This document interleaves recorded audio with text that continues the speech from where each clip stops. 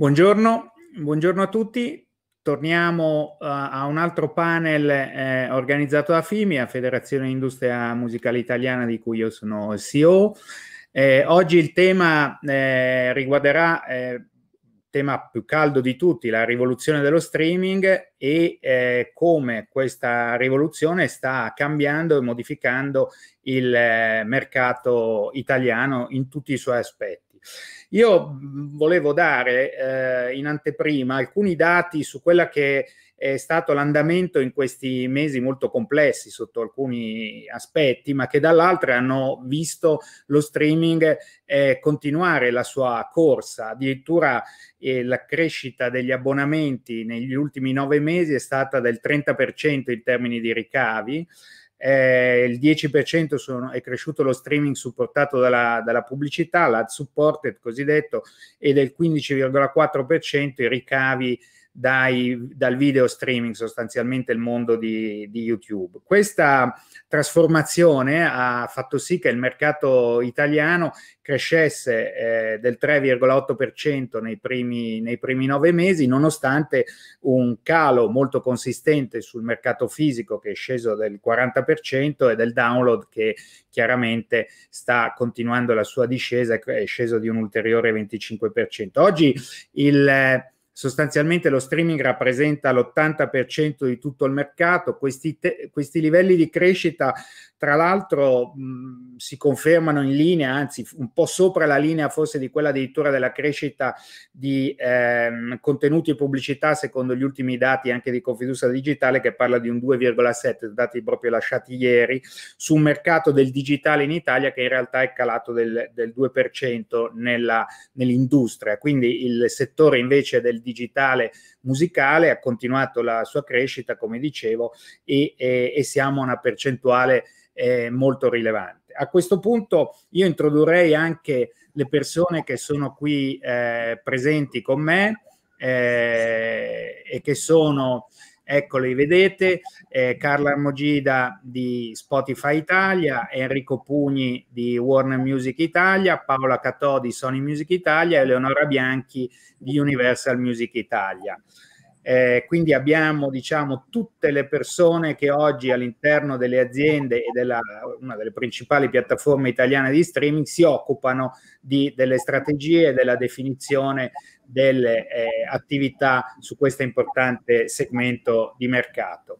Eh, darei subito la parola tra l'altro a Carla perché Carla ci darà delle, anche, anche, lei dei dati molto interessanti sia global sia su come sono cambiati anche un po' i consumi in questo periodo di pandemia. Carla, a te la parola. Buongiorno, buongiorno, a tutti. Eh, è un piacere per me essere qui oggi insieme ad alcuni dei partner con cui lavoriamo quotidianamente. Allora, in questo momento storico, eh, più che di streaming revolution, sarebbe il caso di parlare di streaming evolution. Di fatto i dati di quest'anno, seppur particolare, dimostrano una crescita del mercato in questa direzione. Nei primi tre mesi di questo 2020, infatti, gli abbonamenti ai servizi streaming hanno avuto un aumento del 35% rispetto all'anno scorso, toccando i 349 milioni globali. Spotify è stato uno dei motori principali di questa crescita con una contribuzione del 33% delle sottoscrizioni totali e un 30% delle revenue totali. Altro dato interessante, gli ascoltatori mensili all'interno di Spotify sono aumentati del 29% rispetto all'anno scorso.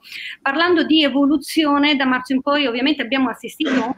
anche una, un cambiamento di quello che sono le abitudini eh, di ascolto dei nostri utenti. L'audio infatti ha avuto un ruolo da protagonista accompagnando tutte le nostre giornate, così come la musica per bambini salvavita per i genitori, ovviamente le, le, la musica di workout e anche quella appunto di Cile, di Cile quindi anche di mood. Ma questo, quest'anno ci ha imposto di rivedere anche quelle che sono le modalità di promozione e di marketing, quindi di reinventare gli strumenti a nostra disposizione per garantire sia agli utenti utenti che agli artisti di vivere un'esperienza comunque unica della musica on and off platform. E insieme ai partner che oggi sono qui presenti con, con me in questo panel, abbiamo messo ad hoc delle campagne di cui sono sicura parleranno anche loro, che hanno visto anche il coinvolgimento di uh, tool, di strumenti come social, app, pla- piattaforme di gaming, landing page, fino ad arrivare, per esempio, lasciatemi citare uno degli esempi più virtuosi che abbiamo fatto come Spotify in US con una landing landing page, un microsito che è stato messo ad hoc per disposizione di The Weeknd per il lancio dell'album,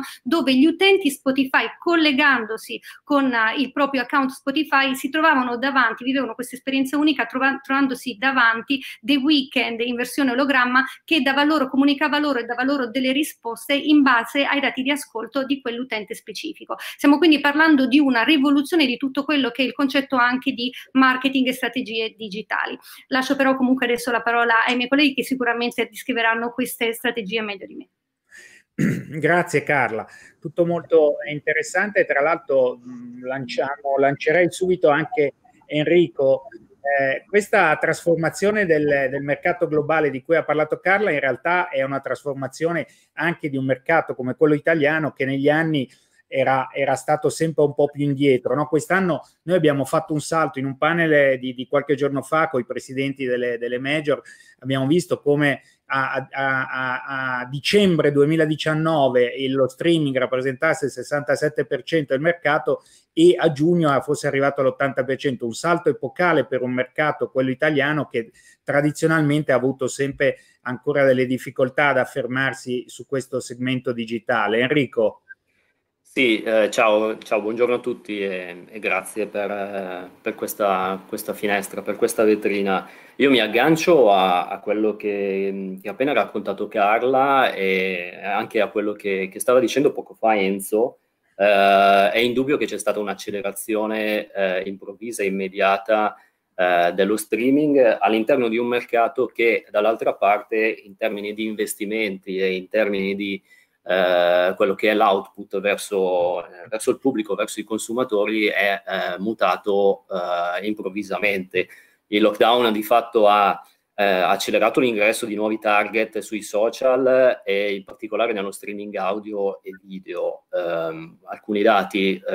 il tempo speso online durante il periodo della pandemia sin dall'inizio è aumentato di circa l'81% e nel 2020 ad oggi noi contiamo circa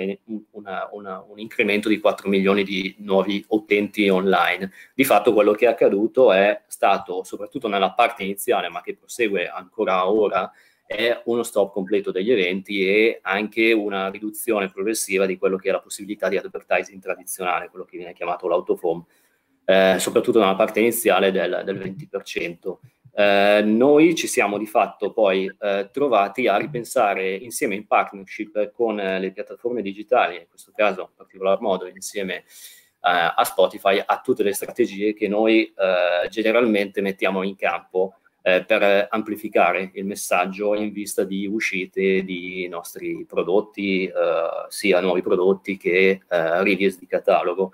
In particolare io vi porto tre, tre semplici esempi. Eh, il primo eh, riguarda la strategia che noi abbiamo attuato per l'uscita eh, di 1990 di Achille Lauro. Eh, in generale il 2020 è stato un periodo eh, in cui sin dall'inizio c'è stata un'ondata di ritorno degli anni 90 e ehm, cogliendo questo, questo, questo questa sensazione, questo, questo mood che, che, che, si stava presentando, eh, abbiamo pubblicato eh, ovviamente insieme all'artista eh, il, nuovo, il, nuovo, il, suo nuovo album 1990 il 24 luglio, quindi all'inizio, nella fase iniziale eh, dell'estate, insieme a una serie di artisti che poi hanno partecipato nelle tracce da Gary Capoplaza, Annalisa, Jamie, Tights Massimo Pericolo, fino a Alexia, eh, Eiffel 65, Benny Benassi, quindi diverse generazioni che parlano a eh, diversi target proprio perché eh, c'è stato un affaccio e un ingresso sempre maggiore di pubblici diversi all'interno dello streaming. Tutto questo l'abbiamo fatto in eh, partnership con Spotify andando a presidiare soprattutto attività di visibilità e attività di advertising sui social online eh, sia attraverso delle attività on platform all'interno di Spotify che appunto facendo del, della DV. Eh, tutto questo attraverso poi un percorso preparatorio, avendo lanciato una playlist mh, di attesa che abbiamo chiamato eh, 1990 Back to Dance. Questo ci ha portato immediatamente ad avere un debutto al numero uno della classifica e ad avere tutti i brani in top 100 di Spotify eh, al debutto immediatamente. Il secondo eh, esempio, caso specifico che, che, che, vorrei portare è un, un esempio di eh, chiamiamolo glocalizzazione, che è un termine super eh, abusato, ma che di fatto ha avuto una spinta ehm, improvvisa eh, e molto forte eh, durante il periodo della pandemia eh, e sto parlando del fenomeno di Gerusalemme che eh, è un brano che inizialmente è eh, stato lanciato sul mercato eh, in Sudafrica nel novembre del 2019, quindi in periodo diciamo di mercato natalizio. È successa una cosa molto curiosa eh, che a febbraio del 2020 un, un gruppo di teenager eh, dell'Angola ehm, hanno eh, caricato su TikTok un videoclip in cui ballavano questo brano eh, e eh, questo, questo video è diventato improvvisamente virale. C'è stata una contingenza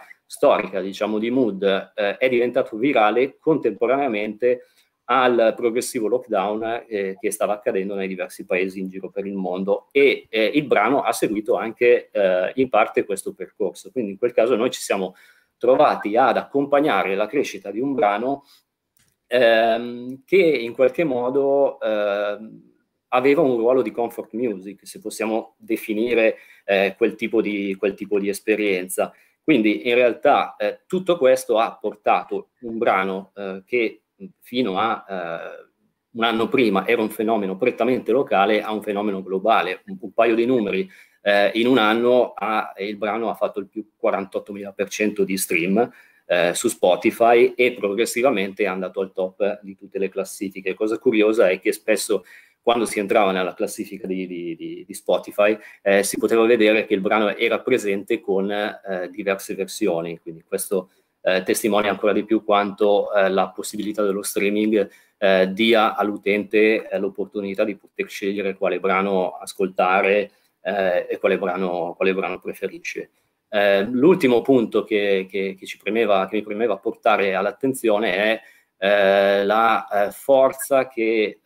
questo periodo di, di, di, di pandemia ha dato anche eh, alla rivalutazione del catalogo in streaming. Eh, l'esempio che porto è quello di Dreams dei Flatwood, dei, dei Flatwood Mac, che è un brano che è uscito nel 1977 e succede che nel eh, febbraio, eh, nel settembre eh, di quest'anno, dopo 43 anni,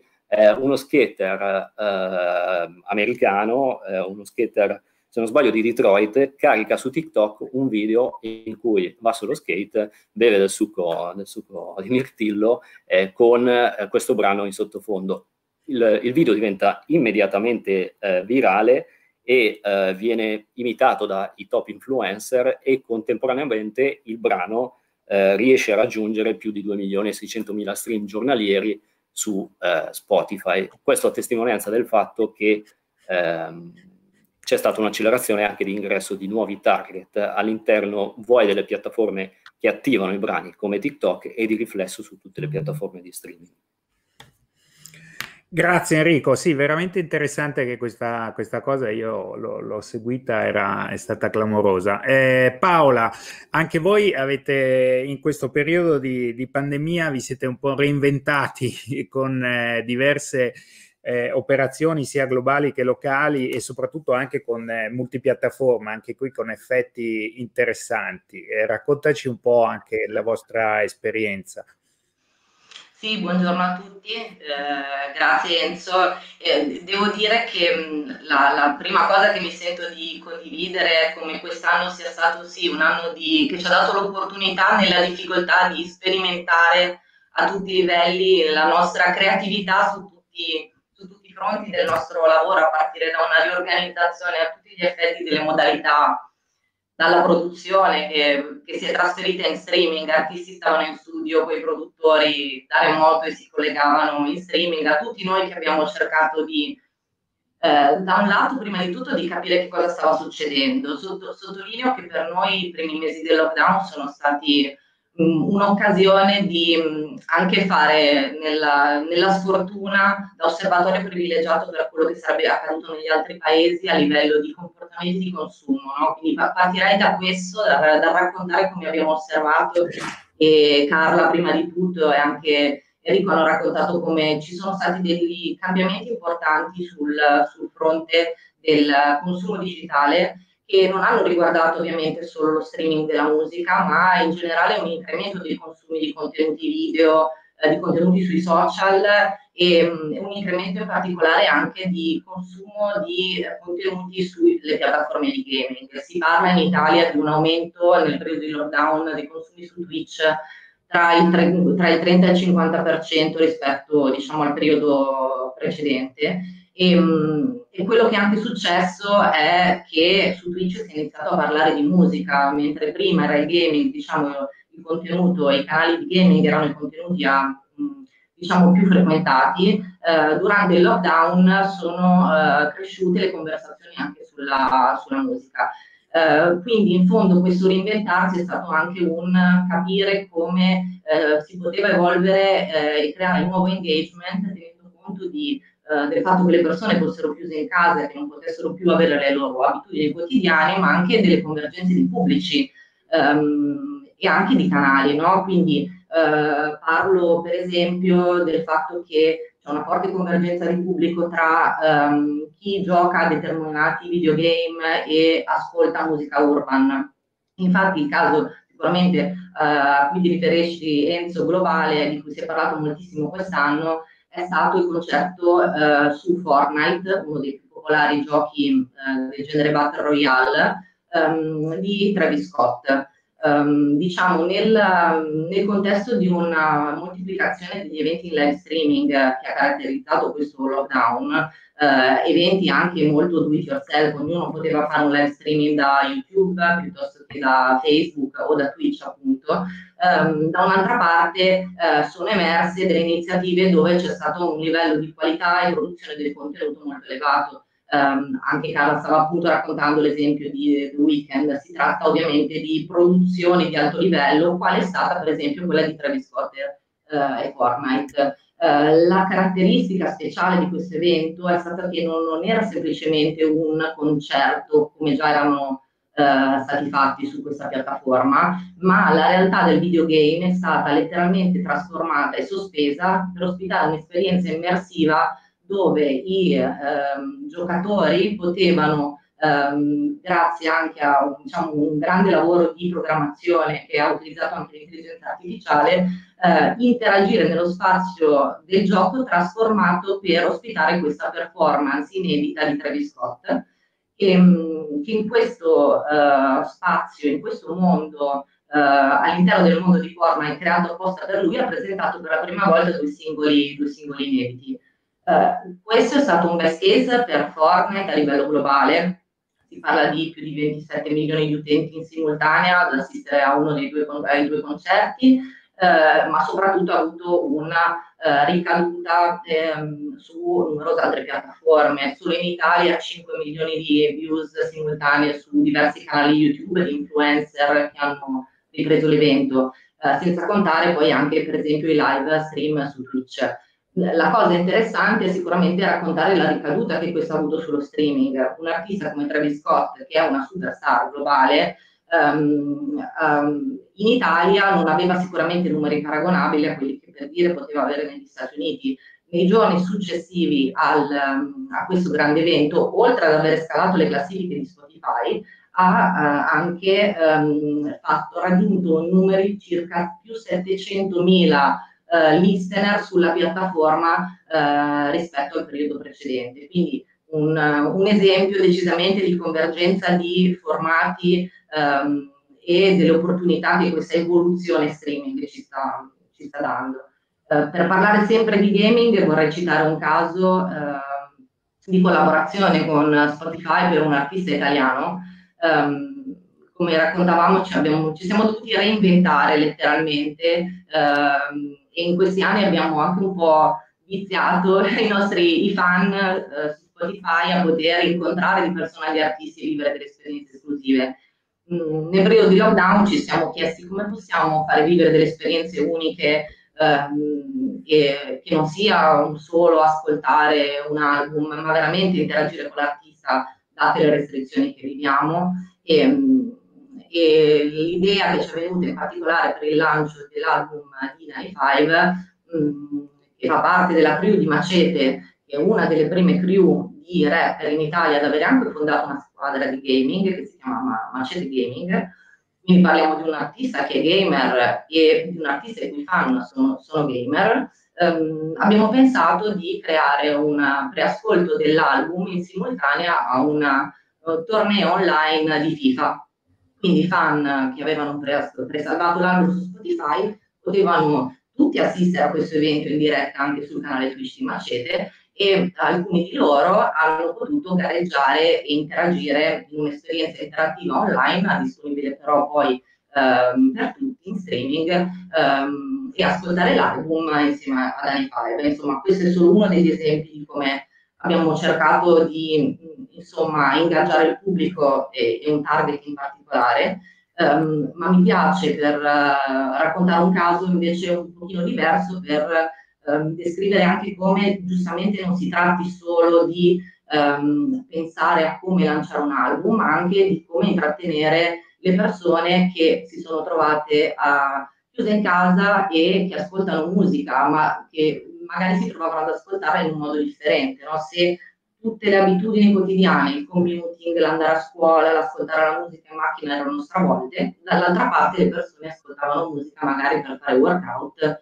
o, um, o le pulizie di casa, che è uno use case che è emerso anche eh, dal Music Listening Report di IFPI. Mm, e quindi abbiamo creato delle collaborazioni con alcuni personaggi diciamo, di riferimento, in particolare cito un, um, uh, un'attività fatta con Antonio Lorenzone, che è il vincitore dell'ultima edizione di Masterchef Italia, um, che uh, ha sul suo canale, sul suo profilo Instagram regolarmente um, intrattiene i suoi follower con, condividendo delle ricette, ovviamente insomma quello che lui sa fare bene e che um, è diventato testimonial della nostra playlist Cucinare con la musica um, nel periodo del lockdown, per cui um, nel proporre delle ricette um, nel periodo del lockdown alle persone che a casa fondamentalmente cucinavano, tutti noi abbiamo cucinato molto di più, proponeva anche i suoi ascolti musicali preferiti che poi atterravano su una playlist creata Spotify. E una simile attività l'abbiamo fatta con uh, Workout, un'altra playlist Sony che si chiama Palestra Motivation, dove la ginnasta Carlotta Ferlito accompagnava i suoi workout su TikTok e su Instagram con alcune canzoni scelte insieme, sempre per poi atterrare eh, e offrire agli utenti la possibilità di ascoltare una selezione dedicata per fare workout eh, anche loro a casa. Quindi abbiamo pensato ovviamente un po' anche alle situazioni di vita delle persone e, e, e capito e immaginato come potevamo ingaggiarle con la nostra musica. Bene, questo anche è un aspetto molto interessante perché certamente la, il digitale ci ha offerto delle incredibili opportunità per eh, saltare diciamo su, su situazioni e cavalcare situazioni anche con una rapidità eh, notevole. Ecco, eh, Eleonora, grazie di essere qui. Intanto immagino che voi siate, siamo a, diciamo, alle ore precedenti il lancio di probabilmente l'album più importante dell'anno nel paese. Eh, quindi possiamo immaginare come siete in, eh, sotto eh, pressione. Raccontaci un po' intanto invece questi, questi, mesi come sono andati e quali sono le vostre eh, iniziative particolari. Guarda, questo può essere un esempio. Innanzitutto, buongiorno a tutti. Uh, Enzo fa uh, effettivamente riferimento all'uscita dell'album di Storia e Basta, che appunto è proprio tra qualche ora. Ci ha visto grandemente in difficoltà in una fase innanzitutto di capire quando far uscire determinati album, perché come, come appunto un po' emerso dalle discussioni di tutti, ma si può facilmente capire in certi casi, soprattutto nell'inizio della, della fase della pandemia, ci chiedevamo quanto fosse come dire, sensato quanto avesse senso non solo per il mercato, visto che comunque per quanto noi comunque rappresentiamo la parte digitale, la parte digitale è quella più uh, in crescita, preponderante, per cui comunque il nostro mercato non ha sofferto eccessivamente della situazione, però il fisico ha comunque la sua importanza e questo è chiaramente la situazione, la situazione attuale, soprattutto quella che era in marzo e aprile, aveva portato addirittura a un blocco completo della vendita del fisico, quindi questo era già un, un primo come dire, scalino o elemento di complessità per, per, gli artisti e per noi nelle pianificazioni e nella scelta di, di release o meno di un progetto. in questo caso, per esempio, un progetto grosso con delle ambizioni internazionali come quello di, eh, di Sfere Basta, chiaramente è stato dovuto essere rimandato, ripensato e eh, Ehm, come anche Carla può testimoniare, diciamo che tutte le nostre strategie fino all'ultimo minuto sono state si sono un po' trasformate e le abbiamo dovute rivedere, riadattare a quella che è la situazione, sia a livello di, di comunicazione, sia proprio a livello di attività che possono essere fatte. Come diceva Paola, giustamente negli anni abbiamo sempre fatto cose più grosse e ci piace, insomma, ci piace pensare che eh, l'industria discografica sia anche quella un po' più innovativa dal punto di vista dei lanci, fa, cercare di, sem- di fare sempre qualcosa di nuovo, qualcosa di più grosso. E rimanendo sull'online, che è sostanzialmente quello che ci è rimasto, alla fine insomma le possibilità si sono già un po' tutte viste, come, diceva, come dicevano Paola e Enrico, la parte di gaming, la parte video, la parte social, è stato già usato un po' tutto, anche noi all'inizio non sapevamo un po' come muoverci, quindi eh, con i primi lanci mh, di giusto per citarvi due album che comunque dopo un primo periodo di incertezza abbiamo deciso di, di, far uscire comunque, anche perché appunto il fisico aveva un po' ripreso, le spedizioni erano ripartite, che sono quello di Ernia e quello di Gue Pechegno, anche lì la chiave eh, di, di, trovare la, la, chiave di comunicazione giusta, nel caso di Ernia quello che poteva essere un release party è stato sostituito da eh, una live su, su YouTube m- molto ben organizzata che sembrava proprio un concerto vero e proprio perché c'è comunque anche questa parte del live che eh, in, manca, manca, soprattutto ai fan, ma anche tanto agli artisti, e quindi diciamo che era un modo per farle esprimere lo stesso e per presentare lo stesso um, il suo album in, in, qualche modo. Abbiamo visto dei risultati allucinanti, incredibili, mai, mai pensati. Chiaramente prima del lockdown anche i volumi uh, del consumo video, soprattutto su YouTube, sono veramente schizzati alle stelle, quindi è stato qualcosa che è, è caduto nel momento giusto, diciamo. Per il disco di Quei Pechegno invece sempre eh, in collaborazione con Spotify pensavamo di fare qualcosa che non fosse, eh, come dire, che uscisse, un, che uscisse, un, po' dalla comunicazione social. Fatto sta che um, abbiamo mh, creato una app dove con, tramite la virtual reality eh, gli utenti potessero come dire, vivere una vera e propria esperienza, come diceva Paola, tutti abituati ad avere un contatto con l'artista, a vivere qualcosa di speciale proprio perché eh, follower, eh, pre-saver, eccetera, eccetera, dell'artista super fidelizzati, in qualche modo eh, siamo riusciti lo stesso a garantire non tanto un, contatto vero e proprio con l'artista che chiaramente non si può avere, ma quantomeno l'accesso a qualcosa di, di esclusivo come potessero essere degli spoiler, delle, delle notizie in anteprima Ehm, di un disco, per esempio. Ehm, tutto questo, insomma, eh, si è andato anche un po' a accompagnare da, da trend nuovi, come, eh, come, diceva anche Enrico, eh, come possono essere l'esplosione dell'utilizzo degli smart speaker, questo legato a, piattaf- a qualunque genere tipo di, di, piattaforma streaming. Certo, chi ha una piattaforma proprietaria, eh, vedi Amazon, ha visto il proprio servizio, come dire, quasi nascere perché è praticamente quasi sconosciuto prima di questo lockdown al grande pubblico, ehm, è allo stesso tempo anche servizi come Spotify abbiamo visto crescere enormemente tutti gli stream provenienti dai, dagli smart speaker di Google, per esempio, la fonte principale praticamente di stream nel periodo del, del lockdown, una delle fonti, diciamo, è stata anche, anche, quella derivata dal voice, cosa pochi mesi prima impensabile. E oggi, oggi, come oggi ci ritroviamo appunto a ripensare a strategie come quella di, come quella di Sfera, un po' in un'ottica, diciamo, ci, ci sarebbe piaciuto farlo in altro, in altro senso, però insomma, diciamo che ci siamo adeguati alla situazione a poche ore dal lancio, non possiamo che non essere contenti, ecco. Grazie Eleonora. Allora, abbiamo solo 15 minuti e dovremmo stare ancora dentro tutti un secondo giro, quindi vi chiedo di essere veloci nelle risposte. Sono arrivate delle domande eh, che a questo punto utilizzerei direttamente. Una subito a Carla è, l'intelligenza artificiale, ecco come contribuisce se so, ha il sopravvento oppure in realtà è una parte importante della cooperazione tecnologica all'interno di, delle piattaforme. Questo potrebbe essere velo- anche qui una, una, risposta su come ha implementate questi strumenti. Il, il, lo streaming, il digital è in continua evoluzione, quindi vi posso assicurare che nei prossimi mesi, nel prossimo anno, ovviamente aggiorneremo la nostra app, porteremo nuove feature sul tavolo, quindi è una questione di, eh, proprio come dicevo, di, di continuo adattamento e cambiamento. Ehm, Enrico, l'altro giorno c'è stata una, una, domanda durante, anzi una considerazione durante un panel sulla, sullo streaming eh, sulla cosiddetta tirannia delle playlist, come se eh, oggi questa, questa, omologazione in qualche maniera eh, che, che, qualcuno paventa fosse generata dalla, dalla, da questa, dalle, dalle, playlist forse il consumatore fosse indotto solo ad ascoltare ciò che gli viene eh, proposto dalle playlist. In realtà sappiamo che tutto questo mondo è molto nelle mani dei, invece dei fan che, che, consumano un po' quello che ritengono anche loro di consumare. Questo è stato anche il successo di alcuni generi musicali. Non so cosa ne pensi. Ma guarda, il termine tirannia mi sembra un po', un po forte perché poi implica una scelta imposta con violenza, in generale la tirannia, quindi, e mi ricorda anche un po' il, il, discorso della dittatura sanitaria che sta girando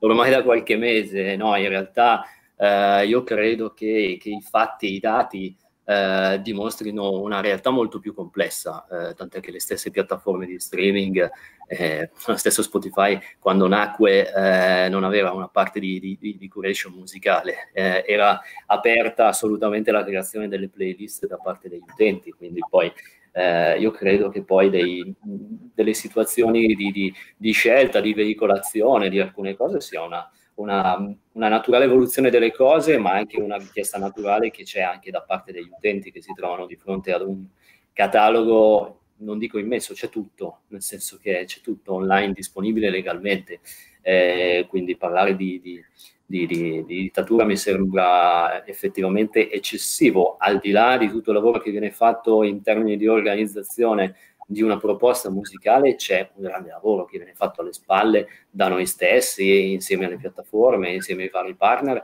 per far crescere appunto eh, l'audience di, di artisti. Eh, ci sono strategie di cui abbiamo parlato tutti quanti poco fa, che mirano proprio a, eh, creare, un, a creare, una connessione sempre più eh, forte tra, tra artisti, una proposta e il pubblico ma anche l'esempio che ho portato prima, quello di Gerusalemme, dimostrava che al di là del tipo di traccia che veniva playlistata, c'erano tantissime versioni in classifica, non parlo solo d'Italia, parlo di tutto il mondo.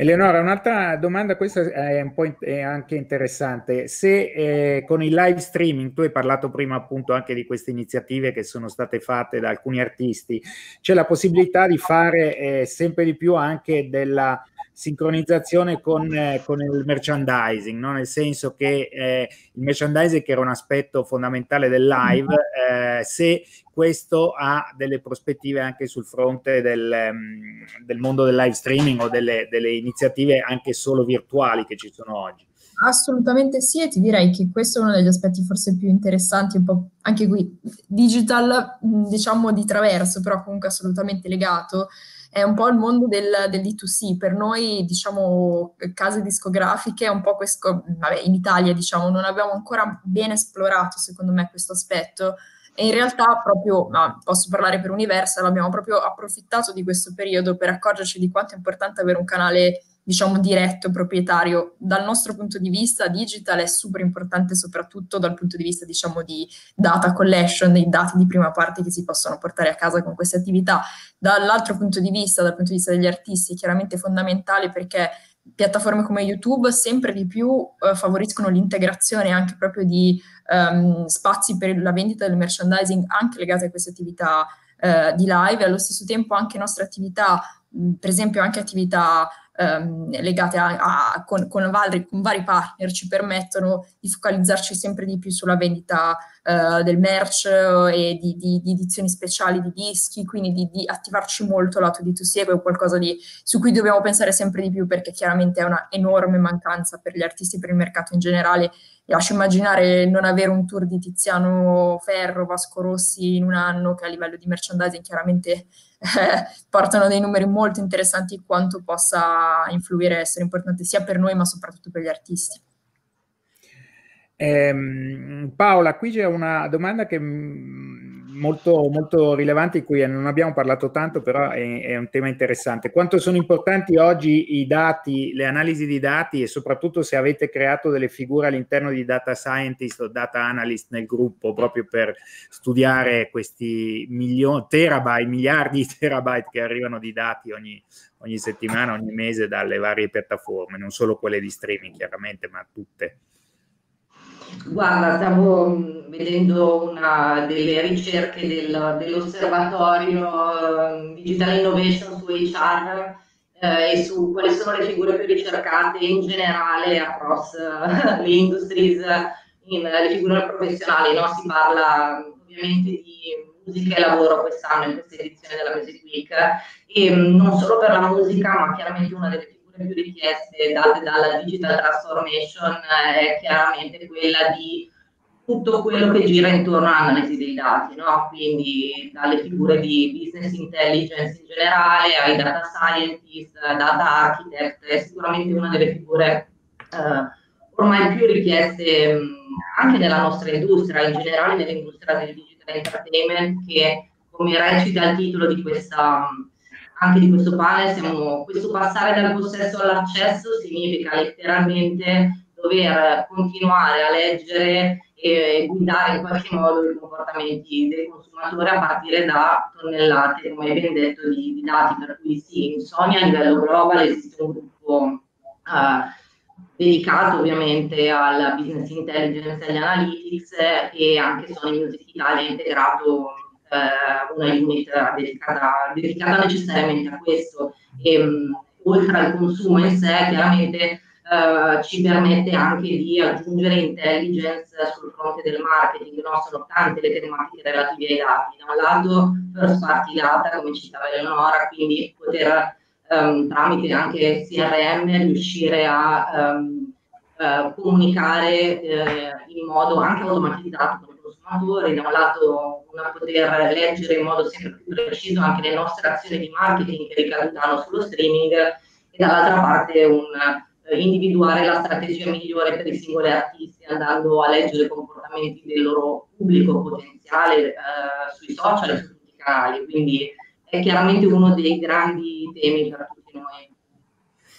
Abbiamo ancora qualche minuto, quindi sono arrivate ancora, arrivano molte domande. Allora, una è per Carla, chiedono eh, se si è parlato del video streaming, no? anche di Spotify, se ci sono delle notizie sulle future iniziative sul segmento video. No, definitivamente no. La nostra è una piattaforma focalizzata sull'audio, sulla musica e lavoriamo affinché questa esperienza sia uh, ogni volta migliorata. Per il momento il video non fa parte di questo. Abbiamo ovviamente dei tool, delle future dentro la piattaforma che si avvicinano al concetto anche del, del visual, come per esempio i canvas e abbiamo anche dei piccoli video che accompagnano alcuni video, e alcuni album come l'Enense, ma il concetto di video uh, live streaming è lontano in questo momento dalla nostra piattaforma. Eh, Enrico, qui un'altra domanda invece sul, sull'estero, questo quanto eh, oggi attraverso lo streaming si può pensare globale? Ecco, questa è una domanda che richiederebbe due ore, però devi esatto. esatto, quanto? Tantissimo, la risposta è tantissimo, nel senso che lo streaming ha rafforzato quelle che erano connessioni che già esistevano prima e ha rafforzato la possibilità di vedere in tempo reale risposte di audience in diversi paesi su uscite che, su uscite che normalmente si possono pensare come eh, destinate solamente a, a, al mercato locale. Eh, è fortemente dettato questo, questo, tipo di discorso anche eh, dal genere rap, eh, ovviamente che ha, eh, anche lui ha dato un accelerato ormai da diversi anni a, a questa tipologia di, di, di, di approccio e di risposta eh, soprattutto mettendo in connessione delle realtà molto locali, specifiche tra di loro, lontanamente eh, mo- molto distanti a livello geografico, ma ha permesso di creare delle connessioni proprio culturali. Eh, lo vediamo soprattutto appunto sulla musica rap, eh, su un target, una fascia d'età molto giovane, eh, il discorso che stiamo notando e notiamo sempre di più è il fatto che si crei questo flow continuo, eh, indipendentemente no, dalla, dal linguaggio, anzi è una, uno step in più, uno step dove spesso eh, un flow musicale di una piccola realtà, magari anche di provincia, parla allo stesso mood, allo stesso tipo di linguaggio e crea la connessione tra gli artisti. Gli artisti si sentono sempre di più direttamente tra di loro grazie al fatto che si scoprono anche su, su Spotify. Tutto questo si accompagna poi a quello che diceva ovviamente Paola eh, riguardo alla disponibilità di dati e, e il dato ti permette, il dato eh, in tempo reale ti permette appunto di vedere cosa succede e quali sono le reazioni e eh, lo stesso tipo di, di, di, dato ti permette poi di avere un linguaggio comune eh, e una cultura comune da condividere sia all'interno dell'azienda sia con gli artisti, con i management, ma anche con gli stessi nostri partner streaming. Eleonora, qui un'altra domanda eh, che facciamo a te, eh, forse in parte avevi risposto prima, ma avevi già parlato di questo tema, è se eh, qui dice qualcuno ha suggerito che gli artisti non avrebbero dovuto mh, eh, pubblicare album senza la possibilità di fare concerti, no? invece questo poi si è dimostrato un importante invece pezzo della, della, della, del mercato in questo momento, visto anche i numeri che tutto sommato sono positivi, quindi la risposta forse è già lì, però sentiamo. No, ma direi è qualcosa in realtà su cui noi ci siamo interrogati chiaramente in un momento in cui il fisico era completamente bloccato e, come dire, anche come dire, moralmente suona male, però insomma sembrava brutto andare a annunciare o uscire con delle call to action un po' superficiali in un periodo di, di grande confusione e chiaramente difficoltà per tutto il paese. Detto questo, una volta razionalizzata la situazione, organizzata di più la situazione e col fisico operativo um, anche per gli artisti, chiaramente non ha molto senso bloccare tutto il processo, anche perché purtroppo non abbiamo un'idea della fine di tutto questo, quindi ci stiamo adattando a qualcosa su cui non, non, non possono pensare di stare fermi due anni, tre anni, sì, sarebbe una grossa perdita soprattutto per loro. Paola, eh, un'altra domanda, questa sicuramente interessante, podcast in competizione o integrazione invece della, dell'industria discografica? Bah, guarda, eh, di, direi che mm, la, la, parola chiave qui è convergenza, ne, ne parlavo anche prima, no? cioè, è, è, già in atto, servizi come Spotify, eh, Carla stava dicendo noi siamo la piattaforma audio, no? quindi integrano già eh, l'esperienza eh, di ascolto di musica e podcast, questa cosa è successa anche su Amazon ehm, in alcuni paesi ehm, e sicuramente per Sony a livello global e a livello local eh, rappresentare un'eccellenza e eh, avere una leadership anche in questo importante nuovo settore eh, di questa nuova tipologia di contenuto offerto sui servizi streaming è chiave, quindi convivono e, mm, e soprattutto devo citare che come Sony proprio durante il lockdown abbiamo lanciato un nuovo progetto che nasce dalla sinergia tra noi e l'Agenzia Indipendente di Comunicazione MN, che ha proprio come obiettivo lo sviluppo di contenuti e podcast che, che già sono presenti sul, sul, mercato in streaming e che non riguardano solo la musica, no? ma vanno a toccare anche già vari altri generi. Di qualche giorno fa è la notizia che Sony eh, a livello global lancerà in US 100 nuovi podcast original nel corso del, del prossimo anno per cui è chiaramente un grande focus, è un nuovo terreno di sperimentazione per noi che sicuramente abbiamo un'importante expertise sull'audio. Bene, direi che siamo stati perfettamente nei tempi. Eh, a questo punto ringrazio tutti voi che siete intervenuti, avete dedicato tempo a questa Milano Music Week. Eh, spero che le persone che hanno seguito questo panel abbiano trovato interessante. Ritroverete tutti questi panel poi sul canale della Milano Music Week su, su, YouTube, quindi la possibilità di approfondire per tutti coloro che fossero interessati rimane, eh, a, rimangono a disposizione. Grazie ancora e un saluto a tutti e grazie ancora a tutti voi. Grazie. Grazie. grazie. grazie.